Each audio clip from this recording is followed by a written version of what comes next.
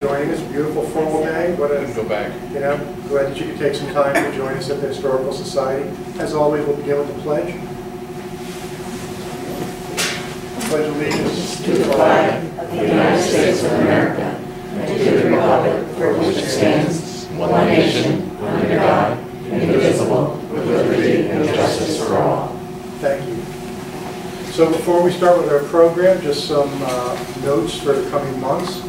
Uh, November 13th at 2 PM, we'll be joined by Dick Woodgeo. Dick is a historian um, and is also a trustee with the Greene County Historical Society. And he will be giving a talk on the history of beer brewing and the arrival of beer beer in the Hudson Valley, as well as Peter Bronck, who was a brewer from Beverwick, Albany, uh, who built the uh, stone portion of the uh, uh, Bronck House down in uh, Coxsackie. Peter was a brewer for the Patroon, and uh, when taxes got to be too high in Albany, he left town and went down uh, to do his own thing down in, uh, down in.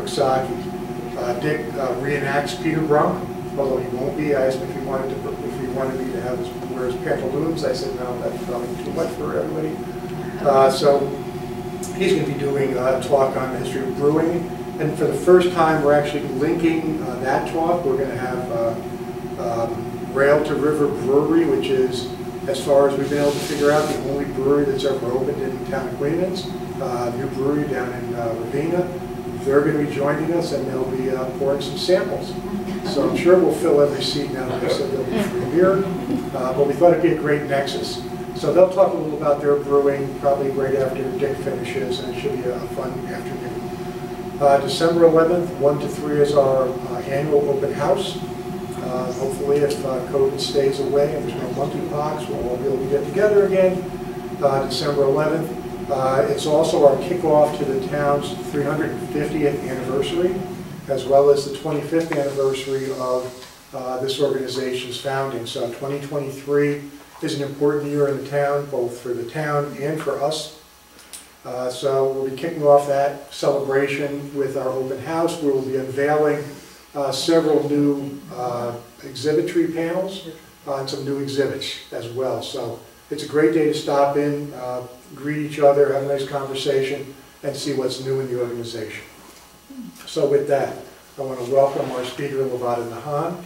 Uh, uh, Lavada is going to be giving her talk, Dining Dutch in the New World. She's an interpreter of African American history with the New York State Office of Parks, Recreation, and Historic Preservation's Bureau of Historic Sites. She's a culinary historian focused on 17th through 19th century uh, Mid-Atlantic region with an emphasis on the work of enslaved cooks in the homes of the elite class. Uh, She's also a generalist in New York's African American history from the 19th century through the 20th century, and she has more than 20 years of public history experience working in a variety of historic sites, uh, societies, and museums across the tri- tri-state region.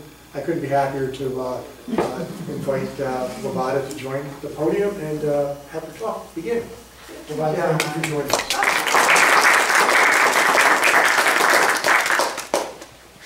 Good afternoon, everyone.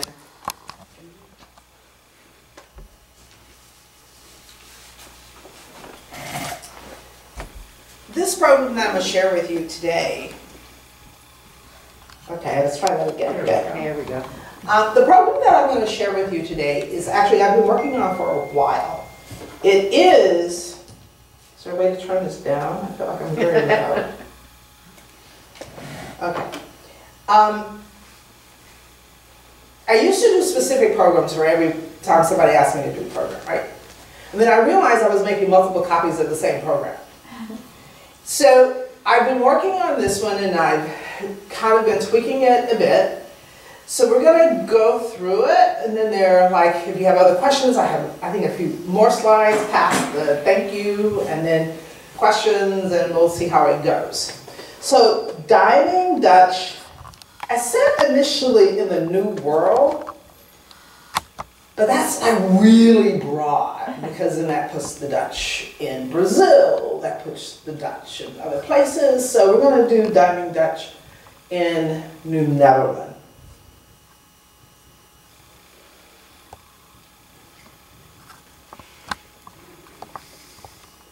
It includes and is part of the 17th through 18th century New Netherland to New York.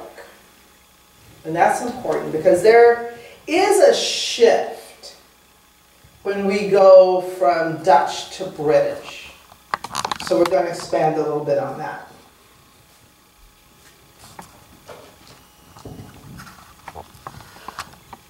We're going to go through an overview of what is culinary history. And then where do we start? We're going to look at the uh, American education system and then briefly go through some research and material culture. And I just realized I have this printed out so I don't have to constantly flip back to this slide. So we'll add this to the poem. We hear often related to food two terms, food history and culinary history. Or as some people say, culinary history. So what is the difference? Food history is if you're talking about, say, an onion. I'm going to tell you where the onion is from, and I'm going to tell you about the onion. But that's all. I'm not going to talk to you about onion recipes. I'm not going to talk to you about onions as a trade item. I'm not going to talk to you about how they're stored or anything like that. I'm just going to talk to you, like, this is where it was and this is where it ended up. Kind of like straight item history. When we speak of culinary history, we talk about everything and information on the onion, right? The culture of the people who grew onions whether that onion became a native, is it native to where it is, or is it an imported ingredient somewhere else? Uh, we talk about the home, we talk about professions, gardening, preservation, husbandry, eating practices. I mean, how many different ways can you eat an onion? You'd be surprised. Um, hosting practices, restaurants, taverns, everything that has to do with food. Not just a food item, not just that one ingredient item. So that's why I am a culinary historian, not a food historian. Right? Because you can get a book on just vanilla or a book on just saffron or something like that. So, one of the things that is our starting point is all the stuff we learned in school. Many of us going through school, when we talked about the colonial period, it was all about the British, right? And then we didn't really talk about the Dutch. So that's where we really have to start. The array of foods and spices, right, the Dutch were like major. They had this major impact. So we're going to come back to this slide in a few minutes. Again, I'm working out slide order here. So I want to go to what we learned in school. Now, I am not a native New Yorker. I am a New Yorker by choice. I've been here since I was 24. I've lived here longer than I ever lived in Texas, so I'm a New Yorker. Yeah. But growing up, I learned 13 colonies north and south. I didn't hear anything about this mid-Atlantic stuff, right? It was just two. When in fact there are three. There's the south, there's the middle, there's the north. So we have British, British, and then we have this Dutch thing stuck in the middle. New Netherlands. It is really important that we keep these three areas in mind, particularly when we're talking about food. Because it's not just the culture of the colonizer that is important. It's also about temperate zone, right? If you're a gardener, you know temperate zone. As I said, I'm originally from Texas, and I have been duped by southern vegetables coming up here, trying to be grown here. One was a thing called a purple hull pea. I'll never forget this. I was at the Grand Army Plaza in Brooklyn at this beautiful farmer's market and they had this huge bushels of purple hull peas and I was like, yes, fresh peas in the summer. I spent way too much money per pound. I got home and I like cleared my afternoon. I'm gonna sit there and I'm gonna shell me some peas and watch a movie. And it was hull after fatty hull after fatty hull and no peas. Uh-huh. They looked good, but our season is not hot enough.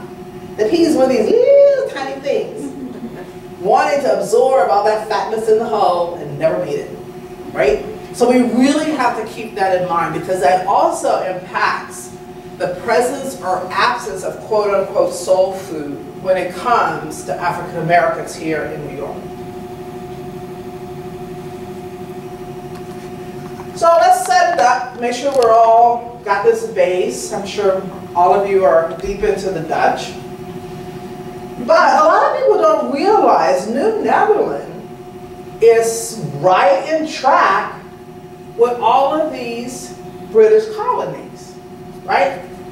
Right now, we're all deep into Jamestown, but seven years later, right? New Netherland is founded. We all know about the 1619 project. 1625, the first men of African descent were purchased as enslaved people in New Amsterdam.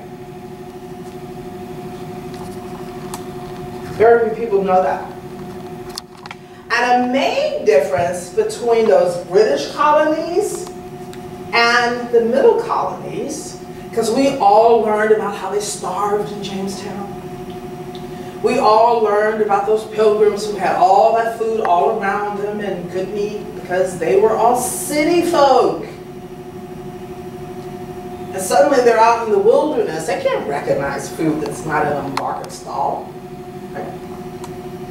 We don't have food shortages here. We've got a people shortage. And this people shortage lasts well into the 18th century. But particularly during the Dutch period. And it is that people shortage that sets up the third type of agricultural system that is used during the colonial period. We learned about those New England family farms, and we learned about those southern plantations.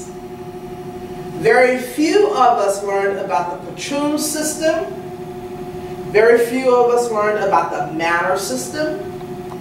Very few of us learned about the large farms that emulated those systems. So what is a patroonship? Well, let's go back to our founding.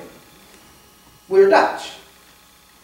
But we were not started by a royal house.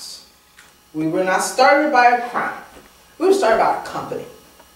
And a company that was looking for profit a company that was only interested in profit, right?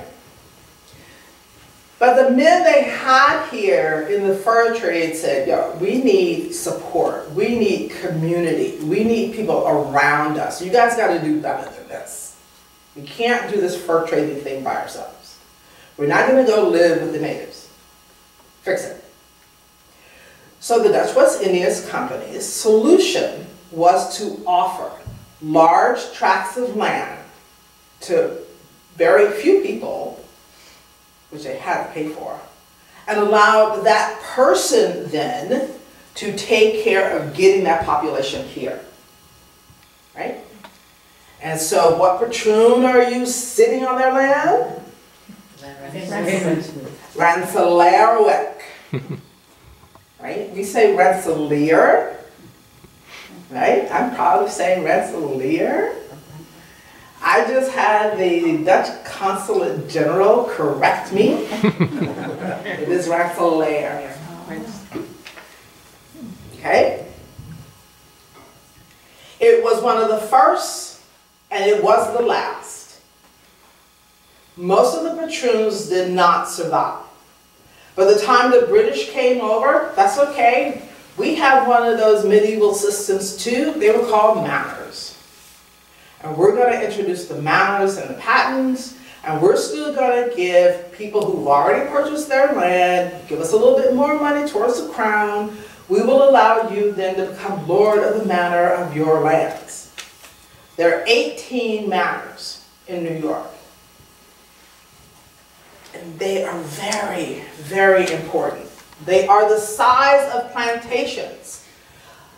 The official definition of a plantation, a large farm, a large tract of land worked as one farm with a resident labor force.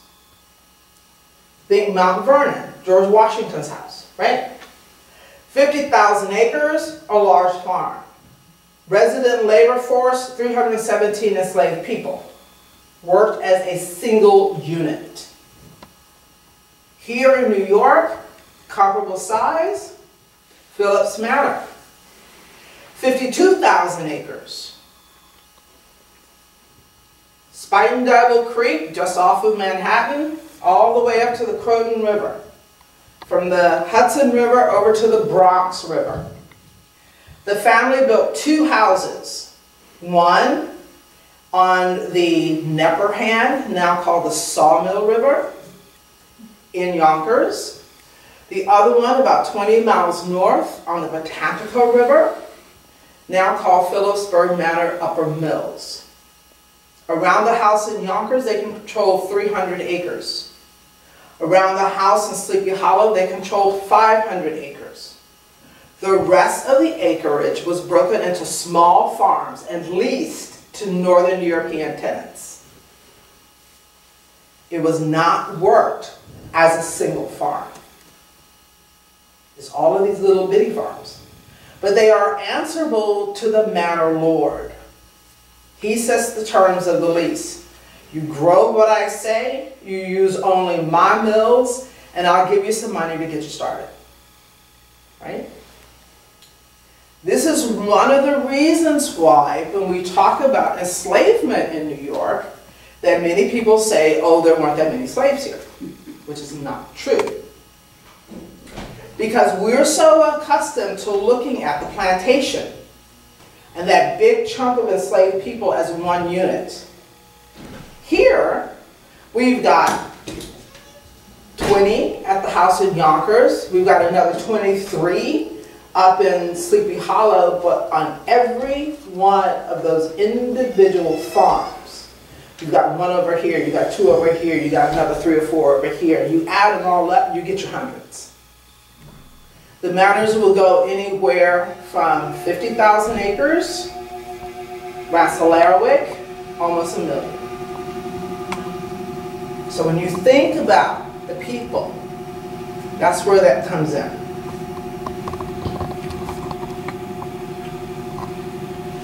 The Dutch were traders. In British thought, wealth is connected to land ownership. The more land you have, the more power you have. The Netherlands is smaller. It's not connected to land. It's connected to trade. And they're not locally trading. This is a nation built of ocean-going merchant traders. And they bring that here to New Netherland. They own this land, but they're not really that involved for a long time in how well it is being developed. They're looking at what natural resources can we get from this land and put on the world market. The first of those, of course, is fur because, you know, they've killed all their beaver and deer and everybody else. But when it starts running low, they have to come up with other things. First, they're going to start tapping into that Virginia tobacco. And then they're like, okay, well, we got all this land, we got to do something with it. And that's when they start growing wheat. So this is a quote out of a very wonderful, very thick book. Dr. Sung Bok Kim. Unlike the English who equated ownership of land with status and wealth, well-to-do Dutch merchants did not try to buy social position by acquiring a country estate. The possibility that, with an increase in population, excuse me, these lands would someday become valuable, failed to steer them into land speculation. The wealth of most affluent New York Dutch in the 1650s and the 1660s consisted in the ownership of boats, the building of mills and breweries, and well-located lots on Manhattan Island. But that did not negate up here, because we have the same thing, right? You've got the farms, they're growing wheat, they're into the trade, the breweries are here, and yeah, I guess we gotta get some more people. So the initial people who actually come to settle New York through the Netherlands are not necessarily Dutch. They come through the Netherlands. The first are the French Walloons, right? Religious persecution is a major player happening in Europe right now. So you have the pilgrims hanging out in the Netherlands for a long time before they come here. You have Scots Irish with all of the Protestant stuff happening. They're going to go there, and then they're going to come here. So a lot of people are coming here through the Netherlands because life in the Netherlands is good. And they're like, wow, why should we? You get all these other people there. But eventually the Dutch do start coming, particularly those working for the Dutch West India Company in the lower position. So many of the founders of some of the wealthiest families in New York history started as carpenters, started as soldiers, started in some other capacity working for the company, came, got involved in the fur trade, got involved in the tobacco trade, slowly amassing land after the natives are pushed off or killed off by disease. So it's slowly growing. It takes a while, but not that long.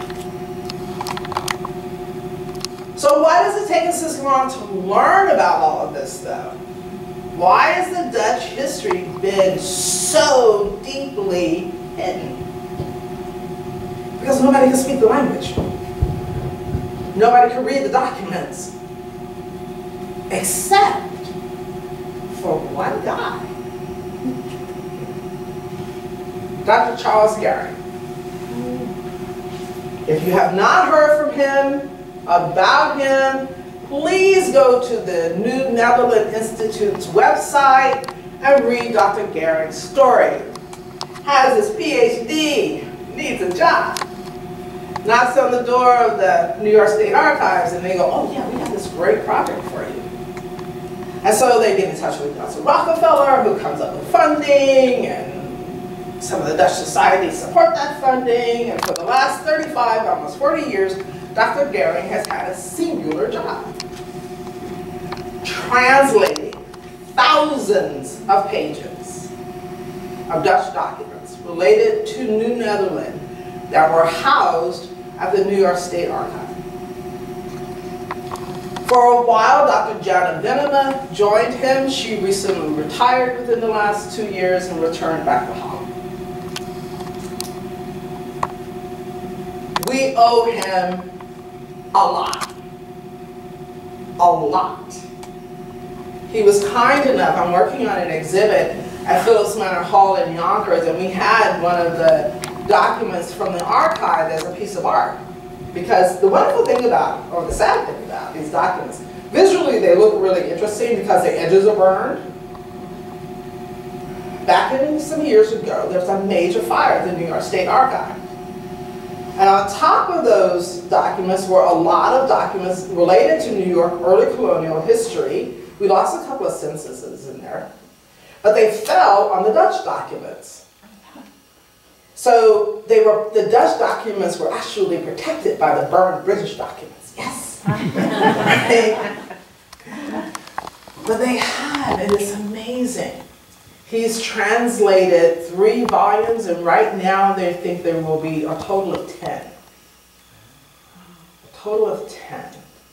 And they're all legal documents, things that tell us so much about how things were going on. So we have this New Netherland tucked right here in the center. Now we're here to talk about food, right? So where do we start talking about New Netherland food? With this guy, who I have been jonesing over Adrian van der Donck for years. He came here as the schout, the sheriff for Rensselaerwyck. He was the only lawyer in the entire colony. He fell in love with this area. He was supposed to stay near the people and work as a sheriff. Now, where was this man? He was off hiking. he was up in the hills. He was meeting the natives. He was learning their languages. He was like just listing what was in the rivers, what was in the woods, and just everything, right? Just kept writing. Except, you know, he also got an eye for the owner's wife. So when one of the Rensselaers died, he had to go. So he went down to New Amsterdam and immediately started butting heads with Peter Stuyvesant. Right? So he and a couple of other of the men of nine, the council who kind of ran things, went to um, the Netherlands to The Hague to present grievances against Stuyvesant they got approved. And then the English and the Dutch got into a war. And he got stuck there for two and a half, almost three years. They wouldn't let him leave. So while he was there, he took all of his love for the colony and wrote a sales pitch. It is a straight up sales pitch. Trying to get people to come populate New Netherland. Throughout that book, he talks about what is native to the area, what foods the colonists bring in. He talks about what the natives are eating, how they're eating it, what they're doing. We learn so much baseline about what is native to New York. And it's like all through. He just weaves it all through. So I actually have a three-page document where I've gone through, read the book, and typed it all out. And this is just a portion, right? Maize and beans. We've got these blue grapes, right? Our Concord grapes, right? They're native. We got strawberries and blackberries and blueberries, raspberries, some kind of cherry. We got gooseberries and hazels, acorn, black walnuts, chestnut, black currants, plums, a small kind of apples, pumpkins, black caps, artichokes, right? Sunchokes, wild onions. And, and then he goes all through all the fish. He goes through all the different kinds of shellfish. He goes through all the different kinds of edible and non-edible animal life, right? And then he tells us what's introduced.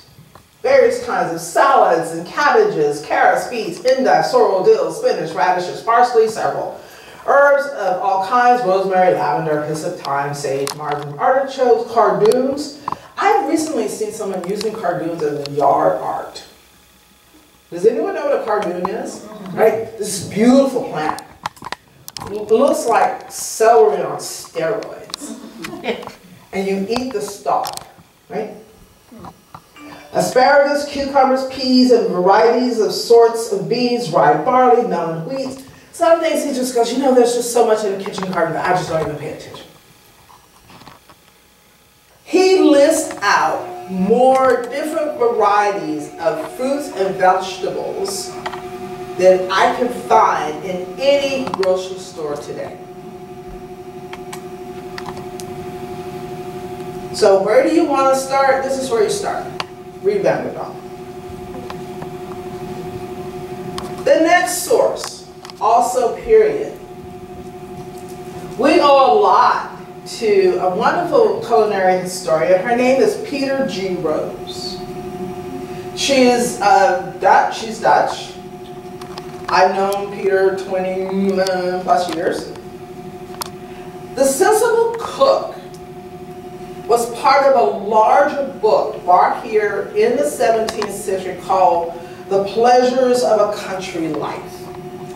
And that bigger book was made up of how-to books about how to set up a farm, how to run a farm, how to run an estate.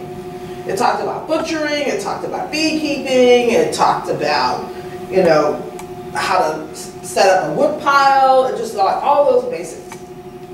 And in that is this cookbook. All of those books had been published separately in the Netherlands. Then they were bound in this book, and we have several artifact copies of that book dating from the 17th century in artifact collections, one of which is Historic Hassengale in Westchester, another one's down at New York Historical Society. I don't know if they have one up in the archives. Okay. But these recipes are straight out of the Netherlands. Straight out of the Netherlands.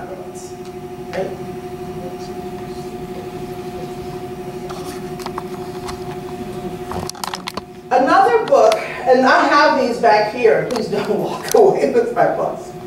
Peter Rose did an exhibit a few, a number of years ago called A Matter of Taste.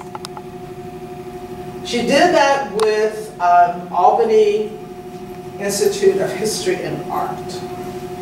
They looked at Dutch master paintings that had American food in them, right? So you can look at the golden period of Dutch art and see pumpkins and squash and turkeys and sunchokes and all of these things, right?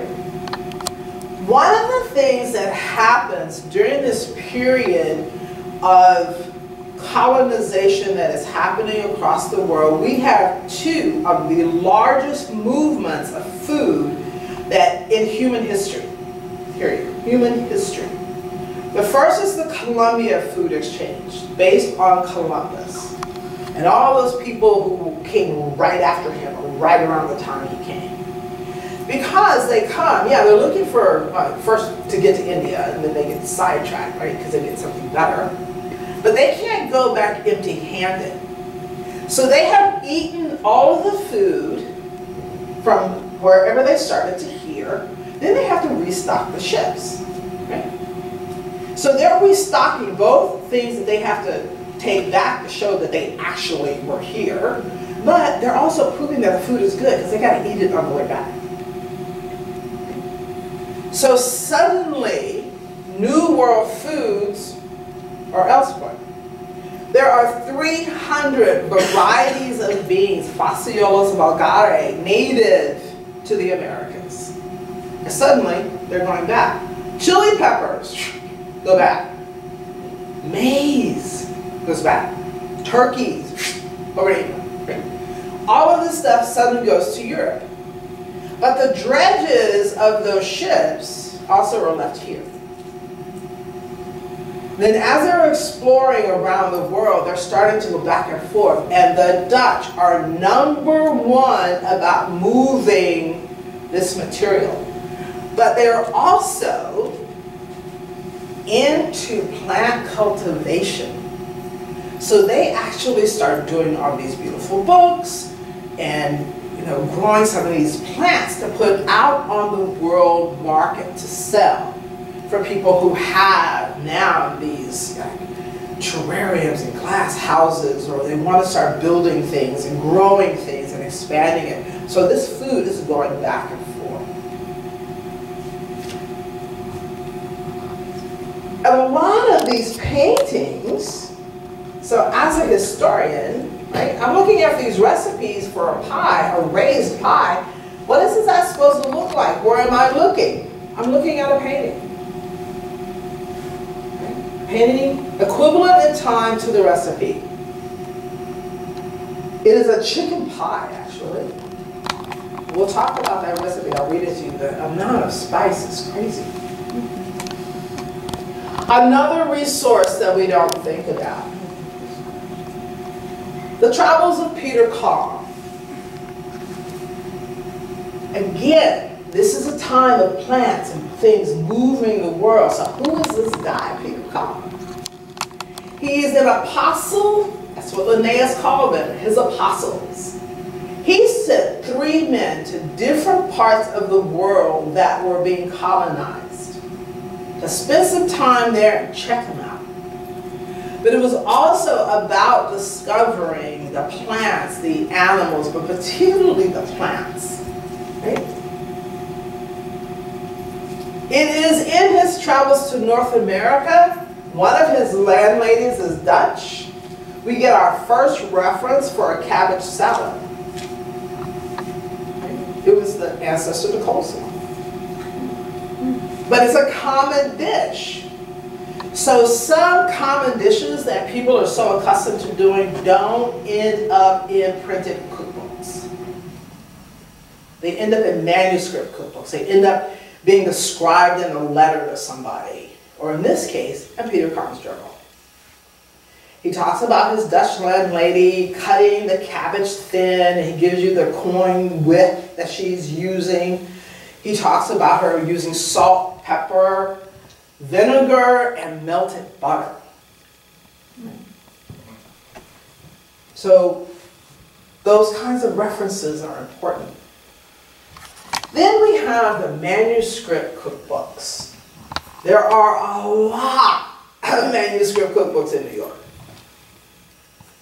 And you can tell who's hanging out with who because they're copying each other's recipes, right? We often grew up, many of us, hearing that, well, you know, those women didn't read.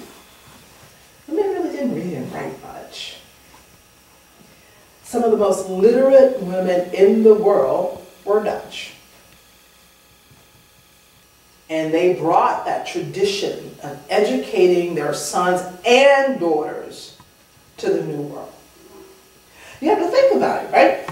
Why are these Dutch women have so much like leeway? Why can they be she merchants, right? Why can they trade? Why can they do all this stuff? Well, because most of the time the guys are out on the water and sometimes that boat does not come back. What would happen to a family? What would happen to a community? What would happen to a country if all of the power was in the hands of the men and they drowned? Who's going to pick up that business and run it? Who's going to keep things going? Right? So the choices often are based on necessity. And the necessity is Dutch women need to be literate. Dutch women need to be running businesses. Dutch women need to be doing this stuff. Because, you know, the Dutch are connected to the water, unlike the British who are connected to the land, so they're not going anywhere, so their wives and daughters don't need to know anything. And this is really important because we have a lot of women writing. They're going to have dinner at a friend's house. She's serving a dish. What do you do? I know what I do. Oh, can I have that recipe? Mm-hmm. Right? I'm going to write it down. The manuscript receipt books tend not to have common items. Right? I can make a cabbage salad. I don't need to write that down. But What were the proportions for that cake? What was the proportions for that pudding? Right? If the proportion wrong, it won't set. And so we need to know things. And so there are some things that we can start tracing, like when things get popular, like rice. There's a period where there are no rice recipes in the manuscript cookbooks, and then there's a plethora of rice recipes. In tandem to when Carolina gold rice was flourishing in the Carolinas and the Georgia area. Rice suddenly was an available product. Here, in the colonies. Not coming from China, not coming from Africa. Right? It was grown here.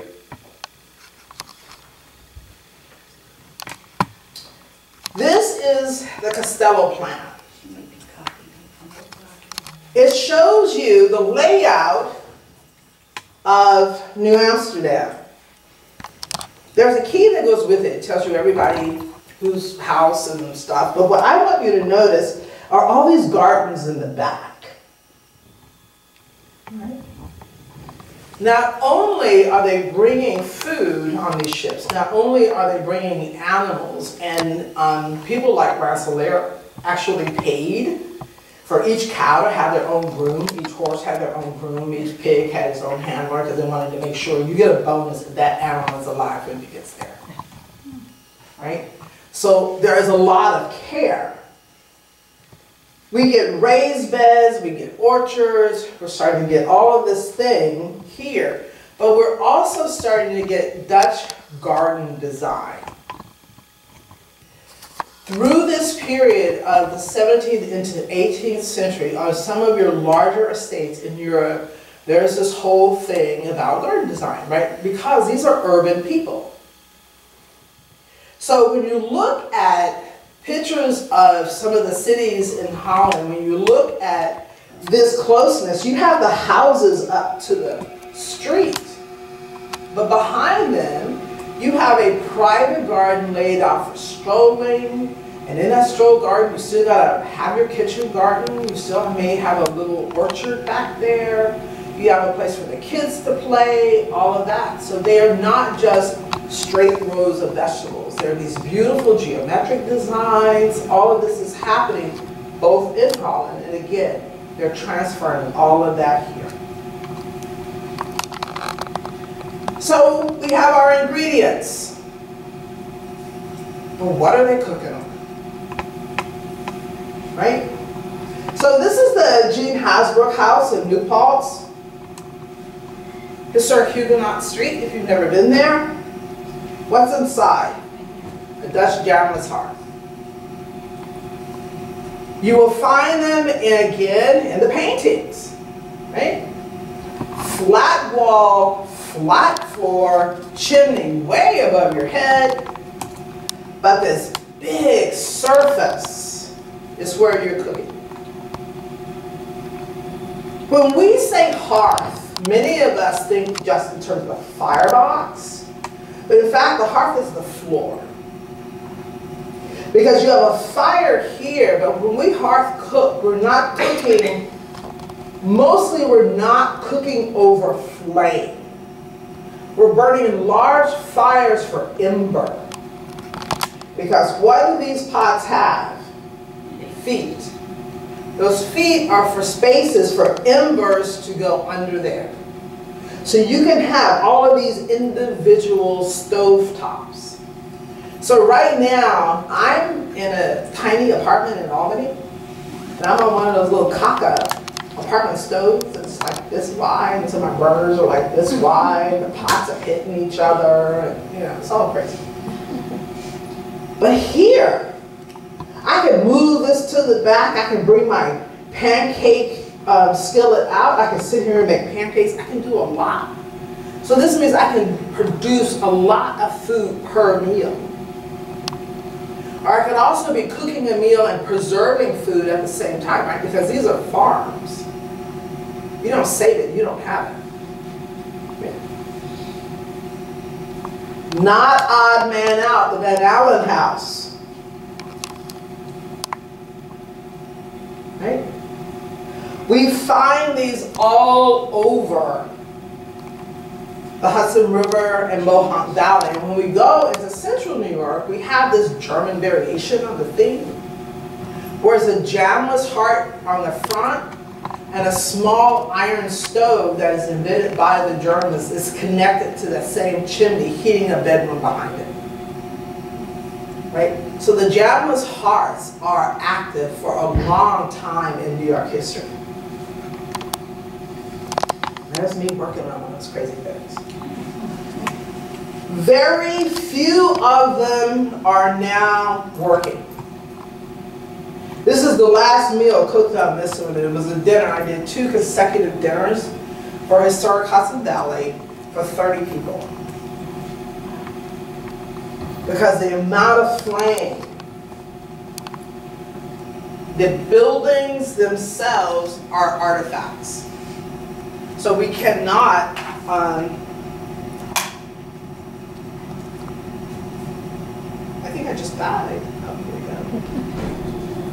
There we go. So we cannot risk losing the building. That's one of the challenges around live firework these days. Very few houses are doing it anymore because the artifacts, the buildings themselves as artifacts are becoming too costly. So I'm very pleased I had that privilege.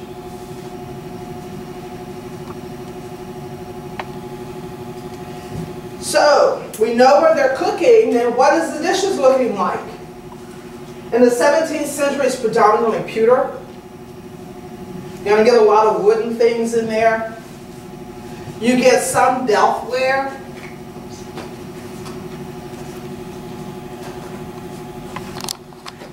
Aren't these gorgeous?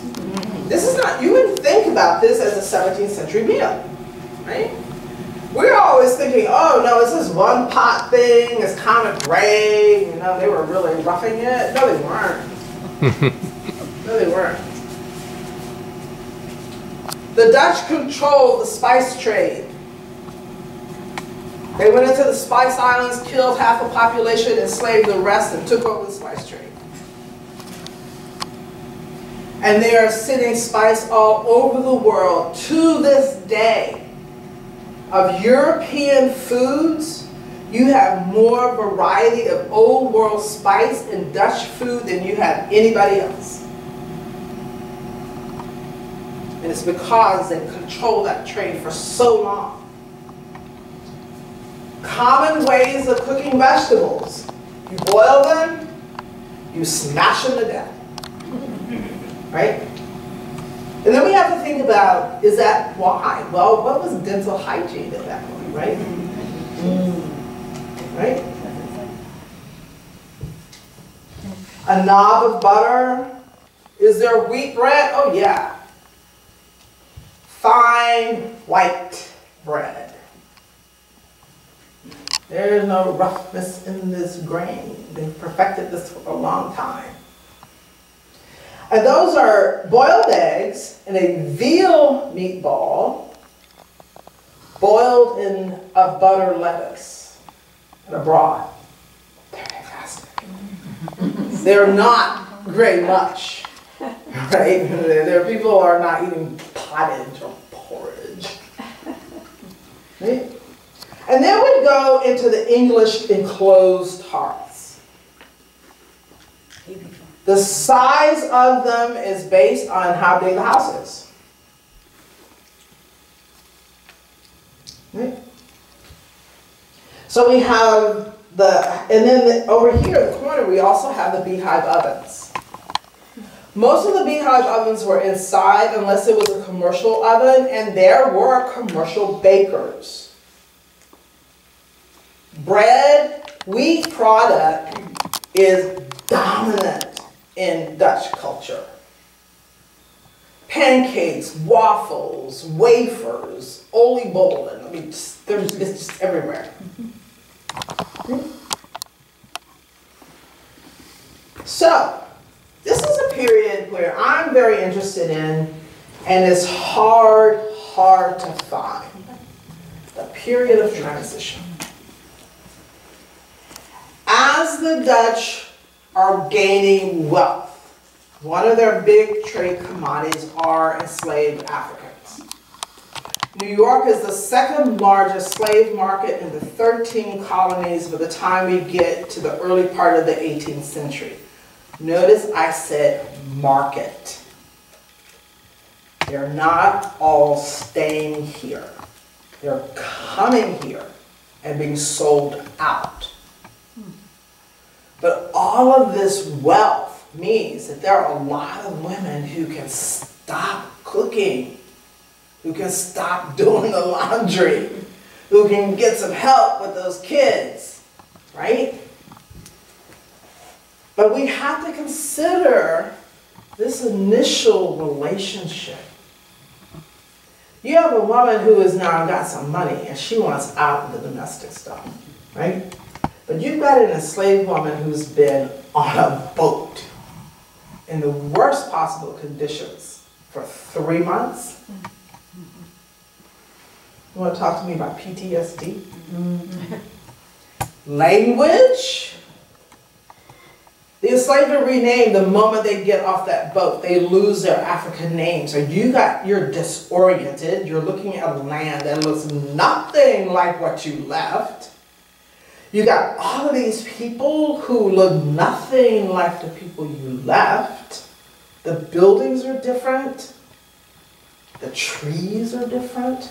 Somebody's yelling at you in a language you can't understand, and then let's go into the kitchen. right? That is not an African kitchen. Ingredients? There's no wheat anywhere in West and Central Africa. You have it in North Africa, and you have it in East Africa. You have it on the edges of Africa that are connected to the Middle East where wheat is grown. They do not cook by themselves. African women cook in community, whether there's multiple wives, mamas, aunts, cousins, whoever, right? Reality versus desired myth. We don't talk about the brutality. Straight up stress.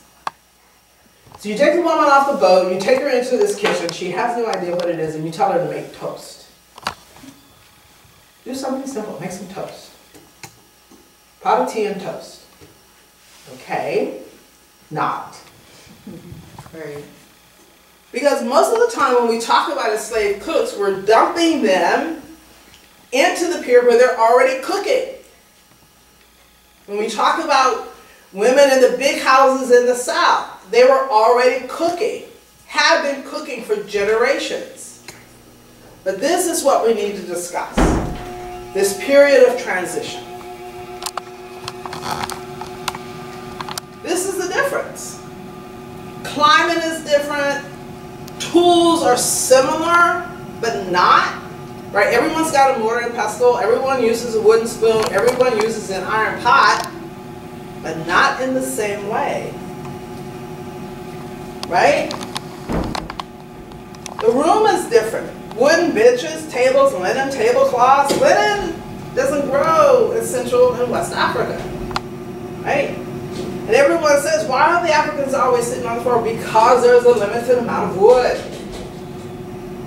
Right? So your furniture is built out of what you have access to. So they don't sit on chairs, they sit on stools. Their throne is not a throne chair, it is a gold stool. Right? Clash of cultures. The crops are different. The fish is different. The animals they're butchering are different. Religious tenets cause the feast to be different.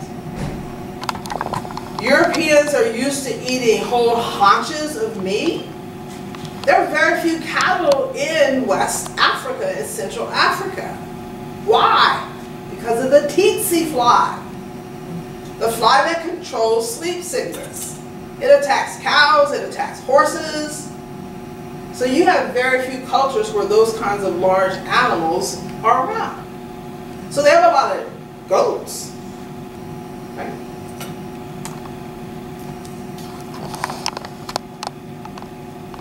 How long do I think it took for an enslaved woman stepping in that kitchen to be able to produce a meal on her own, two years. Two years. Minimum, two years. Why? Because you have to also remember preservation is happening at the same time. Right? We are lucky this year, we have a beautiful apple crop, right? Because we had no hard rain in the summer. But what if there had been rain, right? There have been recent years that our apple crop has been cut in half. So what if you don't have enough apples to make all of that apple cider vinegar? What if you don't have enough apples to, you know, dry for future use? Or a crop is small. So you have to learn how to do in volume. In West and Central Africa, they dry a lot of things. In the Netherlands and Europe, they're preserving in brine. That brine is either vinegar based or that brine is salt based. Right? They're drying stuff, right? Why do Native Americans dry so many things, right? Because they don't have salt. You don't think of it, right? Salt is imported into our area until we find the salt caverns up when they're opening the Erie Canal. That's an important ingredient. But it's those little things that play into training someone. And then there is learning to work with wheat. How many of you bake? How many of you have over kneaded biscuits? Or beat pancakes just a little bit too long? Or made that pie crust, right? That doesn't flake, but it'll stick to the roof of your mouth. In America's first cookbook, American Cookery, right here, New York, there are nine recipes for puff pastry. That is common pastry of the day. Not what we now make as standard pie pastry. That is not your common pastry. The common pastry is that flaky thing that you go to that specialty baker to buy because you don't have time to be messing with that stuff. Or you're one with a Pepperidge Farm box, right? I've already started hoarding mine for the holidays. because last year they ran out. Hmm. Right? But those are the kinds of things that we really don't think about when we start thinking about food. Meat is a major part of the European diet. The wealthier you, wealthier you are, the more meat is on that table. Meat is, for Africans, special occasion. They're predominantly vegetarian. There are so many rivers in, in West and Central Africa, they eat a lot of fish. But if you're inland, small pieces of meat cut up in stews.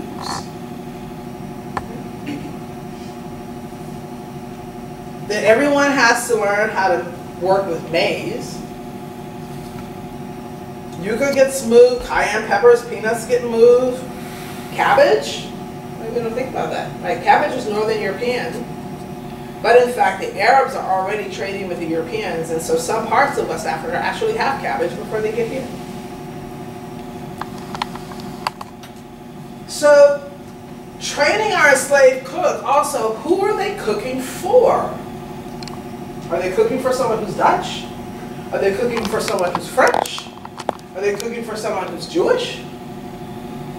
They're all here in the 17th century. All these ethnic groups are here. And this is the challenge for many when we talk about the presence or absence of soul food in our area, right? Because we're not having a slave cook for themselves. Why? Because you got one person in your house, the cost of cooking. First, most of the enslaved into our area are men. Men don't cook in Africa. Talk about gender separation to this day. Right? And then the cost of food, the pot, the wood, the knives, all of that, you're just going to feed them. Right? Or if you're in one of the larger houses, you're going to have your cook make some kind of soup or stew for them. Because you're going to keep them in the fields working as long as you can. So we actually have enslaved cooks and enslaved people speaking all these different languages. Because it depends on who owns them. And this goes well into the late 18th century. Sojourner Truth, right? Isabel Baumfree. Most of us grew up believing that this very tall, righteous black woman was from the South. She's in fact Dutch-speaking Ulster County. Her first and worst beating, she was 10 years old because she didn't understand English. Right? So after the first arrivals, how do we train these cooks? I believe young girls are taken into the kitchen and they're trained starting very young. Here, go fetch water. Go do that. I, I don't know how you grew up, but that was me in my mother's kitchen. Mm-hmm. Scrub those potatoes. Empty that trash. Move this, move that, measure that. Particularly when you're doing the big meals. You need that help. Right? So these apprentices start happening, and these women stay in the kitchen, and then when they are traded, it's usually in a private sale. We do have sale ads for women specifically as cooks. The price is just a little bit more. right? So wheat, right? This is a working grist mill on the footprint of the original at Philipse Manor Upper Mills.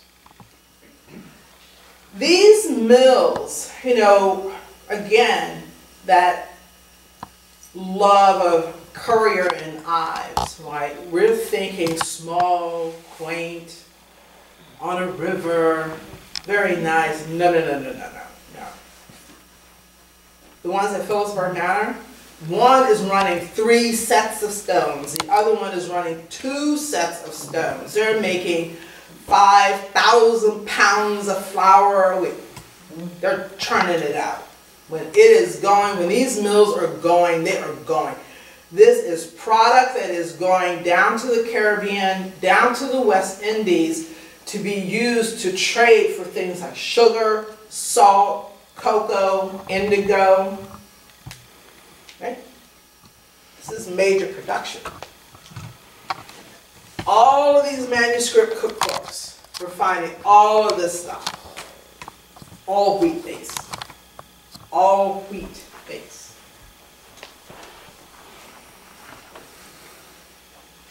Then we have these you know, issues with natives wanting the European stuff. I cannot. Right? New Amsterdam, 1649. Ordinance forbids selling to natives any fine boiled or white breads or cakes for presents. Right? Beverwick, same thing. You make it for us, no you can't give it to them.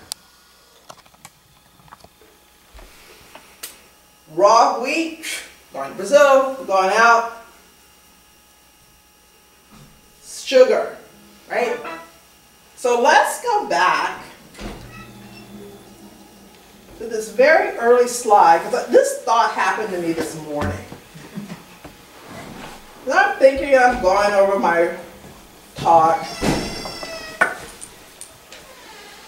The triangular trade, you guys remember that? Molasses to rum to slaves. We are not distilling anything in New York other than beer.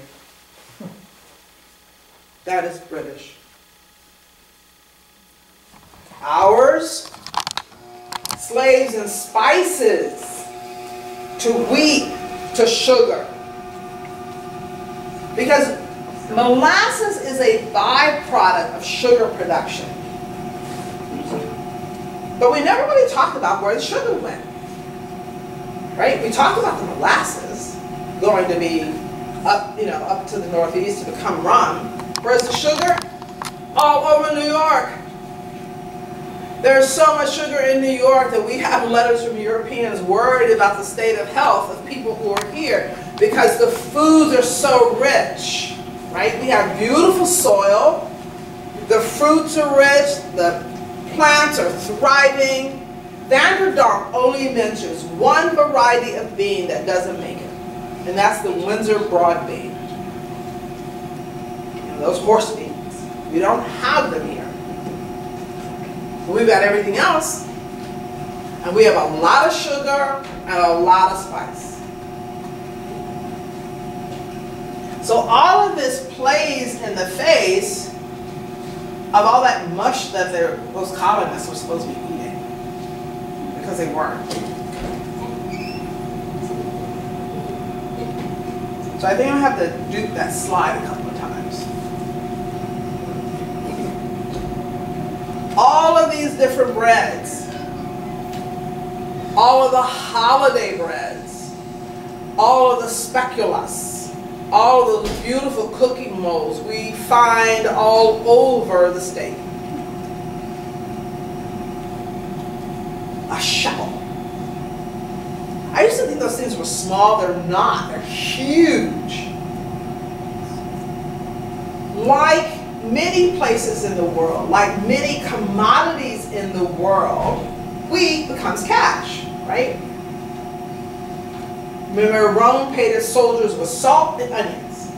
So we got a lot of, that's what you get. So you can buy things for so many shekels of wheat, including a person. You can buy a house, you can pay your rent, right? So the grain base of New York is primary. So you remember that gorgeous looking pie? One of the reasons I broke it, even though nobody was going to eat it, I just wanted people to smell it. So it has chicken, ripe pears, pitted prunes, dried carrot, uh, cherries, mints, citron, pine nuts, ginger, cinnamon, cloves, nutmeg, butter, white wine. This is not a teaspoon. These spices are in that recipe in ounces. Ounces. Chicken brought in. Pears brought in. Right? Not native. Prune plums, short season. I hope you got some. that were really good this year. Brought in. Those kinds of European cherries brought in. Citron, whoa, yeah, that's from the Middle East. Brought in. Pine nuts brought in.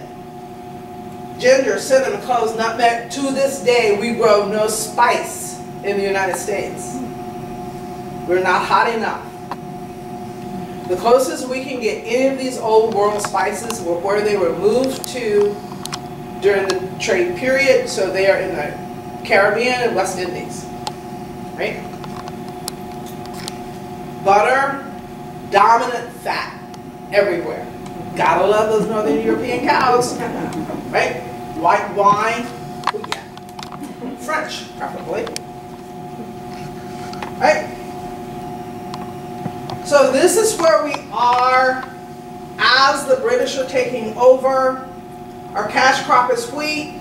We've got two styles of hearth. The Dutch bread, cheese, beer is the base. It's so much more. They've adapted certain native ingredients. One is maize, right? Cornmeal mush. It is not the sweet corn we're eating today. It's not. That's a 20th century invention.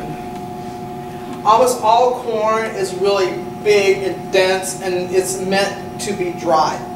There are five kinds of, kinds of maize, but the most dominant is for the grain and it becomes sampan. It's a cornmeal mush. And you put it on a plate and you carve these rivers in it and a circle in the center. You pour milk in there and it'll go down to this little river and everyone shares that dish. Right? And squash is used in pancakes. So they're adapting. Right? Transitions in the hearths. Remember I said depending on your wealth, right? This is a smaller one, but look at this one. This is at Van Cortlandt Manor down in Croton on Hudson. Right? So we have these big hearths. And we find a number of these throughout the Hudson River Valley. Moving towards a blend of Dutch and British food ways. So what happens as we go into the 18th century? Just more, more. We're going to leave pewter behind because now we got that beautiful Chinese porcelain, or we have stoneware and delftware that is copying the blue and white of the Chinese porcelain. Okay, we get our first, our first cookbook. These are two editions, they're both back there. Um, historians believe she was from New York. The first one is print, the brown one is the first edition, printed early in the year. And of course, you know, the publisher knew more than this woman. There's so many mistakes in that book. Like the gingerbread has no ginger. so it's reprinted, it's corrected and reprinted in Albany later in a year.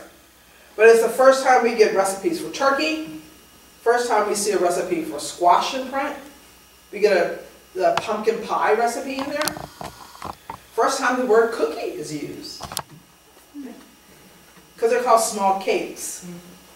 So when you're looking at a manuscript cookbook or an old receipt, particularly 17th, 18th century, if it says cake singular, it's a risen cake. If it says cakes plural, it's a cookie. And those great nine recipes for puff pastry. And no, they are not all the same and they don't taste the same. Because the fat you use depends on whether you're going to be doing a meat pie or a sweet pie. Right? So some of them use suet, some of them you use lard, some of them you use butter. Things that were not around in the 18th century, right? All, the, all that rice. Rice is around. There are two strains of rice in the world. One is Asian, one is African. But now it's being grown here in the Carolinas. So we have an increase in rice recipes. And there's no potatoes until we get to the middle of the 18th century. So as Peter told me more than once, and I didn't know, give me a menu for 1700 Dutch food with a potato on it. Okay. Not there. The Castan changes. In the early recipes, what would have been a potato is a turnip. And when potatoes come in, they switch it. So this is a popular dish. So they just changed the uh, vegetables. But you notice it's still all boiled and mashed up. And we got better keep. We, till it's exhausted, because there's no resting the land, there's no augmenting the soil. It just keeps going until the yields get smaller and smaller. What happens? Central New York opens up, Western New York opens up. So it just comes up higher into New York as the population moves. Right? The Lower Hudson Valley would go to sheep, and then it just becomes our urban center, really. Right? 18th century. Yeah, this is pre-restaurant culture. You know, this is when dining rooms are being introduced into houses. So if you look at some of the Dutch, earlier Dutch master paintings, you'll often see people sitting at a table, but there's a bed in the back. Right? Or you'll see a lot of period furniture that folds up and makes itself smaller. Because rooms are used in multiple purposes. When you're not using the table, it's called a room at rest. You fold it up, you push it to the side, you push the chairs that you're not using to the side. Right? When you need something, pull it out, you set it up, you use it, you break it down, you put it away. Right? The dishes, getting into all that beautiful Chinese export porcelain. Meals, breakfast, dinner, your main meal of the day. As we go into the 18th century, we are now setting up British Georgian culture. So what does that mean? So you're going to have a three-course dinner. Right? That seems reasonable. We have three courses now. Yes? Uh, yes and no. What we have now, what we eat, say I'm going to go out for dinner or do it in my home, you know, you start with a soup or salad. Then you'll have your entree, few vegetables, bread on side. You'll have a dessert. That is a 19th century meal. That's service a la Russe, service in the Russian style. The 18th century, we have service a la Française, service in the French style. That is 5 to 21 dishes per course. So, we have this beautiful set of china back here, right? So you have that soup tureen on the second, that will be sitting in front of the woman. That is your first remove. On that platter behind her will be in front of the man because, you know, guys, just your job to carve at table. Seated, please, not standing. Then it's set up just like a Georgian house. If there's a dish on the left side, it has to have a mirrored dish on the right side. So that's why you have duplicates of those serving pieces. If you have another one on the left side, you have a duplicate on the right side. If you have a sauce to your left, you'll have a sauce to your right. So it's very symmetrical. The houses become symmetrical, and the way the table is laid becomes very symmetrical. Right? So you have that, and the first course is pretty savory. The soup gets removed, the lady gets a fish, then that whole course goes away. The second course will repeat some of the savoriness, but then you'll start getting sweet things thrown in there. Right? So you may have a carrot pudding on one side, but you may have a lemon pudding on the other side. Right? A pudding is like a souffle. It is not that creamy thing that we're eating. It's more like a souffle. If you have a tart, that tart could be an onion tart, right? And then across from there, you can have an apple tart. Then that goes away. If you're going to do a third course, it will be even sweeter and fewer savories. Now, there's a lot of food on the table every day, and that was common. They're eating for health. It's called the humoral system. So just because all that food is cooked doesn't mean it's going to be consumed. At least it could be at supper. It could be at breakfast the next day. But you're aiming, the cook is aiming for dinner. That's your main meal of the day. Then we have tea. Another part of history we need to correct. Afternoon tea did not start in England. It started in the Netherlands. The first shipment of tea goes to Holland. And they bring that tradition of enjoying a cup of tea with a small cake or cookie or bread and butter in the afternoon here. So if you go into any of our larger historic places like the Met, I invite you the next time you're in the Met, go to the American Wing. They have um, open cases, right? So they're just glasses and you can just see all their stuff. It is case after case after case of pewter teapots. And then china teapots. And they're all from the 17th and 18th century. Right?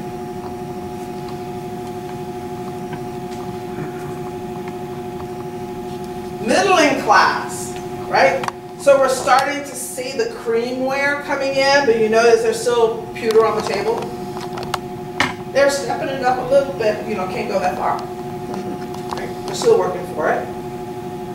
So you'll have that blend.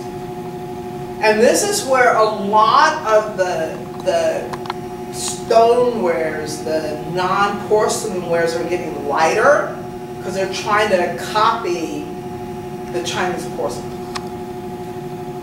It is shortly after this period that Wedgwood invents bone china. Again, trying to copy that Chinese porcelain. At the height of the period, mahogany, the dining table, now you have a separate room for dining, you have a table out of the most expensive and prized wood in the room, and it's all reflecting the wealth. It is the porcelain, it's the polished brass, and it is all of that silver. Of course, you have those beautiful Dutch tiles, right? Manganese, more expensive than the cobalt. Punch. Ah, punch, it is not a fruit punch. it is an alcohol knock you to your knees punch. And they have it everywhere. This is why there's so much drinking that happens in the 17th and 18th century. That's why in the middle of the 19th century we get such a heavy temperance movement. Right? Because everybody's drinking beer. And then we've got wine and whiskey and champagne and Madeira by the caseload, right?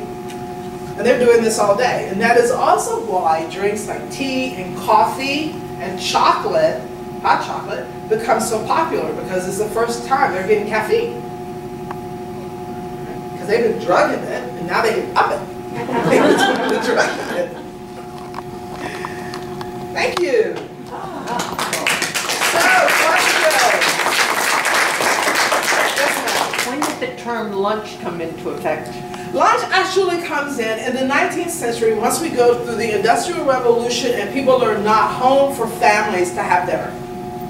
So um, it becomes a hand meal, right? Right, the hand pie, you gotta take it with you. So dinner then starts ticking back. In my growing up, the only time that breakfast, dinner, supper was maintained was on Sunday because we had breakfast, then we went to church, and then we had a big Sunday dinner together. And then later, just about the time uh, Walt Disney was coming on, there would be a light supper. And that's usually mom saying, well, whatever's left in there, you know. They may have made a little soup, or you get a little sandwich, or maybe whatever, like if you had turkey or a roast or something, make a little soup. But it's usually just a little nibble Sometimes you may be able to squeeze out an extra piece of cake or pie, right? And then uh, everybody goes to bed. But that's the 19th century. We need to get people off the farm, into the factories, into industry, and then that's where that will shift. Yes, sir? When did Native American rice start being used um, by people in this area? I mean, it's, Native American rice, yeah, wild rice, yeah. is not rice. It's not because it's not here. It's in Minnesota. We have some grain here that natives are collecting, but not enough to make it profitable. That is not something, it's so water edge dependent, it's so water dependent. It is never really, even to this day, it is never competing with Asian rice. They do try to grow Asian rice here. I don't know if you've ever been either to Boscobel or to West Point, but if you look at Constitution Marsh, you can sometimes, you're like, what are those lines over there, right? That's where they were trying to start growing European, I mean, uh, Asian rice. So, um, it's never, it's, it's just not enough. There's just not enough of that grain. It's a grass seed, actually. Um, and it has its own lifespan and things. So Native Americans, particularly as we go into the Midwest, uh, Minnesota and that whole area, are collecting a lot of the wild rice. Um, but to this day, it's never been really commercially viable to the volume that we need to really make it popular. That's why we're still paying a lot of money for Liberty Box. Yes, That vegetable that you called gardoon, Cardoon. could that be our native, or, I don't know if it's native or not, but it could be the sticker plant? No, it's not. It's, it's very different. Um, what you're, um, Teasel, it's not. uh, uh, so, Well, I, cardoons are, are like, it literally looks like a celery stalk. And there are no stickers or anything on it. Um, and it is a grayish green. And they get about this tall. I mean, they get big. well, the wild burdock, my father-in-law used to call them. Right, There's great big stalks on them and a big leaf. correct. I They know, used to cut off the leaves correct. and thread them, Mm-hmm. and they used to cook those and eat them. Yes, they did and do, and so do the roots, right? You can preserve the root part if you don't like dig it out soon enough, you know, it's eight feet and then it's taking over your backyard. Still digging it out. Um, actually, it's a different plant. And they did, yes, they did do burdock, we still do burdock. Burdock, um, is more popular in Asian cooking than we do here. And more for the root than for the leaves, for the stalk. I think the Italians like that too. Mm-hmm. What about rhubarb? Is rhubarb that, It's there. see, Okay. Um, but we don't see rhubarb showing up a lot in recipes until we get into the mid to late 19th century. Now, this is one of those questions. Is it so common that nobody's writing it down? Oh, right? When we start to see rhubarb showing up is when we are really doing more American cookbooks in the 19th century. I have not seen rhubarb show up in any of the manuscript cookbooks that I have looked at. So, but a lot of things don't show up. They show up like on the on the garden list, but we don't see recipes for cooking them. Right? So again, when we look at the manuscript cookbooks, what are they writing down? They're writing down the specialty dishes where they have to remember the proportions. So we find more cake recipes, more specialty pudding recipes, but the things that I would consider a pie filling or a cobbler filling, we're not finding those. Because everybody knows how to do it. Right? You, you will find the recipe for the crust, like how to make a short crust. But you don't find the filling. I remember reading or hearing something about rhubarb was great to see in the spring because it was one of the first vitamin C Mhm. crops. Yes. So are dandelion, right? did. The dandelion is brought here, rhubarb is brought here. But we don't have, um, so far, I have not found any recipes for it. But there's a lot of manuscript cookbooks and a lot of paper still to look. New York is still real deep in the paper. We don't have a lot of books. And that's one of the challenges that we have is that um, we're still doing a lot of primary document research. So we know that with um, enslaved people in the South, some of their families crept into what they cooked for Right. the bakehouse. Um, do we ever see that really happening No. up north? Not really. And, and so this is a, no, I, I want to say about North, I want to talk middle colonies, right?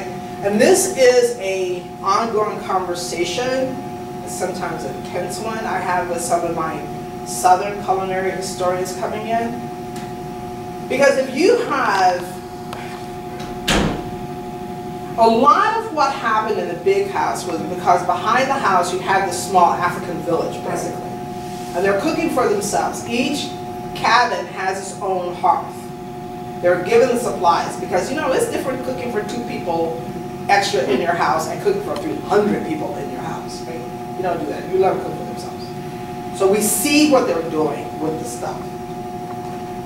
But when you have one person or two people, they're not cooking for themselves. And as someone, I've worked as a private cook. I don't care what my style of cooking is. They're paying me to cook for them. I cook how they want. And I have been challenged, right? I mean, I had one guy who just didn't like black pepper. It was hard, you know? And that's one of my favorite flavors, you know? I, and I know, he wasn't allergic. He just didn't like it, right? So his wife had black pepper, and she would pepper her food. But I, am cooking, prepping for them for the week, I literally had to take that black pepper and go put it in the freezer, and have to remember to take it out before I left. Because without thinking, I would have put it in there, Yeah. right? So if you think you're cooking, and one, if you don't get it right, what's the penalty? right? We have to remember that in many cases, the women entertaining in our homes, we've gotten away from that. But remember, that style, even all through the 50s, you, like the, the box for dinner, right? It had to be perfect. You're having friends for dinner eh, because they did all the time, or you're even cooking for them. Their cook is property. She cooks the way they want it. So we just, I'm not saying it. I'm just not saying it. Where would we see it? We would see it in letters when people talk about dinners they had. We would have seen it in the journals. We would see it in the women's diaries. And that evidence is just not there. So I believe the enslaved cooks here because the meals are really commented on and they're always glowing unless somebody's a bad cook. But then what do you do with a bad cook? You just sell it. You get another one. Right? But they rave about the meals. And so they're copying European style cooking. Or they're copying whatever the woman of the house ethnic that she wants to produce and serve on her table. But we don't have that here. Will we find other evidence? Maybe. I just haven't found it yet. Yes, ma'am. So Has there been any research done about once enslaved communities um, were allowed to uh, own their own homes? I mean, when they were manumitted, so could you, and many of them married with or set up homes with native people. Was there a commingling then of native cuisines, if you want to call it that, you know, whatever herbal kinds of things, gathering nuts and berries, you know, those kinds of eating habits? Those records do not exist so far. No, No. no research.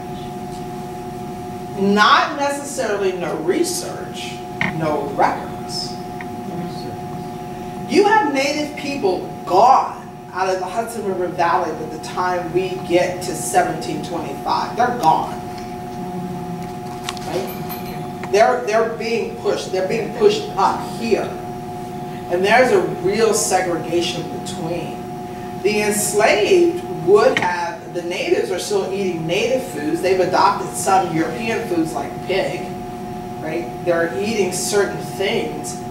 But we're, I have not found any document that tells me that there's a blend there. And one of the things that we have to remember, the majority of the enslaved in New York are men. When we're, we're bringing in, and, and we're, New York is doing a lot of direct from Africa import. So if a male married a native woman, who's doing the cooking? She is. She's cooking her traditions. He's eating it because he ain't cooking. But written documents to verify what that is, no. We do have records around what the Haudenosaunee and the Iroquois and the natives ate and what they planted and grew and, and uh, adapted. But we don't have any of those blends. Because those who are writing on the natives aren't focused on women's work. And this comes up particularly when American corn goes to Ireland for the potato famine. Because you have Irish starving on a grain that has sustained natives for thousands of years. So why? One of the things that men didn't notice is that the women would put ash from the fire into the corn. That ash is the process of opening up the uh, skin of the corn and releasing and making available for digestion the nutrients within corn. Without the presence of that ash, that's uh, there's a word for that process, and I'm sorry, it is not coming to mind, but it is lye. The ash is actually lye, right? And that's how we make hominy, right? So that chemical transition makes corn nutrient viable. But, you know, there were men writing those things. And they weren't washing the hands of women. They just knew that the natives lived on this grain. So we sent all this grain over to Ireland, and people literally starved on it. Because it was not opened. Those nutrients weren't opened because that ash was not put in there. Um, you did mention, um, enslaved individuals with corn, or Yeah. Africans. So that in the Carolinas, there's a large, you know, rice, I mean, not corn, what I mean is corn, I meant rice. Rice. Right, so West Africans were those who were growing rice in West Africa. And Yes, the Senegambians. And they were the ones that were taken intentionally to Yes. do the rice uh, production in the Carolinas. Yes, So, um, the rice production in the United States, would you say is built on African technology? yes, it is built on African technology. Because the French own the land. I am so sorry. Um, The French own the land, and they have, the French have no rice culture. So they went into Senegambia. So as I mentioned, there's two strains of rice in the world. One is Asian and one is African. And Africa does both upland rice, which is a dry growing rice, and they also do wet rice. But slaves were, and this happened for many industries, that the enslaved were brought specifically for a skill set.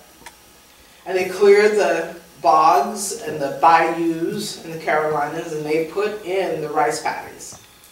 And Carolina rice you can still buy today, real Carolina gold rice. It is a heritage crop, um, but yes, totally built on Africa. Yes, ma'am. The Italians are noted for pasta, the Germans for like the wurst. What would you say the Dutch are noted for? Well, first of all, the Italians got pasta from the Chinese. Right, Um, right. and a lot of the other things came from the Moors. Um, that's where we get cannolis, is from the Moors. Um, what would I say with the Dutch? Butter, dairy, cheese. Yeah, I, I would have to say it's all that the flour dough things, right? It's the pancakes, it's the waffles, it's the olykoek, okay. it's the, you know, it is those dough things. I mean, the world eats pancakes. Yes. And how many of those long handle, there's not a historic site you can go to in our state that doesn't have those long handle pans, right? Those are for making pancakes. And we got waffle irons and waffle irons and we've got wafer irons and, mm-hmm. yeah, it's all that flour work. Yes. This seems to be a many-faceted subject. What piqued your interest in it? I have been, um, I am that geek kid, right? Um, I didn't grow up watching television, but, you know, it was the one television in the house, right? Dad, sports, news, do something else. Um, I spent a lot, my parents were teachers, I spent a lot of time reading, and I was fascinated by a 1950s, I grew up with a 1950s home economic book in our kitchen. So read the book. And then I also didn't learn to keep my mouth shut when I was bored, so it was like reading encyclopedia, right? Remember, we all grew up with those in the house, right? What do you do? Bored, read. Um, and I love to cook. My mother, as she said, had three daughters, one to cook, one to clean, one to sew. Um, and so it just kept going. And I could spend a lot of time, the only place I could actually just go, my parents would allow me to go was the library. So I started reading cookbooks as books, and I still do. Um, and cooking, right? Because I thought my mother was passing on some great knowledge. It was only recently that when my siblings got together that I learned that my sister and I cooked because my mother was a horrible cook. I didn't know that growing up. I just thought she was like giving me freedom. Um, and so I've always done that. And I've always enjoyed history, all of that. And then the New York part came in when I was 24 and I moved to New York. I volunteered at the Brooklyn Museum. And I don't know if any of you have been there, but on the top floor are all these extant rooms from houses that no longer exist. And a lot of them are Dutch. And I was like, what is all this Dutch stuff? And, the, you know, then they were like, oh, you need to go to New York Historical Society. Oh, you need to go, blah, blah. And then, you know, this is the wormhole. 40 some odd years I'm still in. But it is, it's, it's very fascinating to me um, because it is so different than what we were taught. And it just opens up, particularly New York food, is it opens up the world because the ingredients are coming from all over the world. And um, Georgian cooking, particularly mid 18th century cooking, is just phenomenal. The food is just, we eat so poorly compared to what they did. Lavada, thank you for joining us today. This was great. So there are books there, if anyone wants to look at them, and I'm here and all And that. before you all get up, there's uh, one more anniversary I forgot to mention, and Karen Hess reminded me.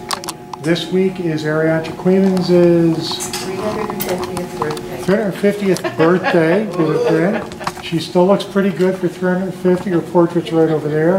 Uh, And then in honor of that, Karen uh, was kind enough to bring some sweets for anyone who'd like to partake. So they're on the table over there. So again, Lavada, thank you, and hopefully we'll see you all in November.